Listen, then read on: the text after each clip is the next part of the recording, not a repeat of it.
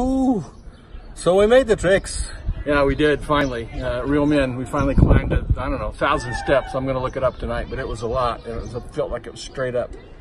Yeah, this was like uh, 50 floors that we climbed. It's about six miles altogether.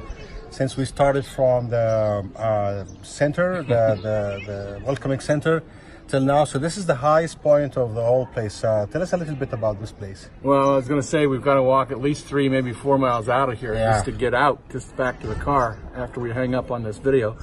Uh, it's been fascinating. Uh, like I could say, this is 2,000 years old.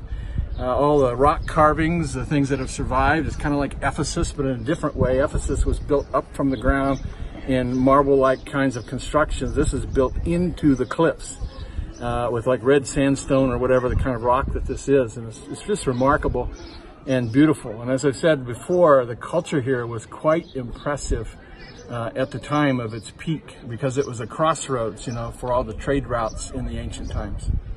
You, uh, one thing uh, I, I noticed, uh, Alex, as we get, get out up here, many Bedouins, many local people have their cell phones and they have a FaceTime Yeah, talk. Yeah, we should mention that. Uh, I mean, I've seen, I don't know, 10, 12 at least, men and women and young people on their cell phones. And one guy was on the back of a donkey, clearly playing a video game because I could hear it. Sounds like my grandson's. And, uh, you know, they're engaged. So they're connected. As I said in that other video, uh, the monastery behind me, they isolated themselves. And we at Sat 7, we don't isolate ourselves. We want to speak truth to culture today and uh, share Christ through available technology, which is satellite television, uh, to talk to the everyday person in all these different Arab and Persian and Turkish countries. So imagine through uh, the uh, help of our friends back in the US, now we can have people watching the Sat 7 through their cell phones, even in the Bedouin tent or even in the monastery.